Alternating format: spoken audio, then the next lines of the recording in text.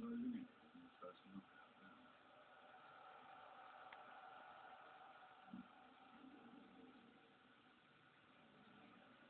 England, winners once, twice in the last four, and five times in the last eight, made heavy weather of Trinidad and Tobago, first timers, and the smallest country left in the competition.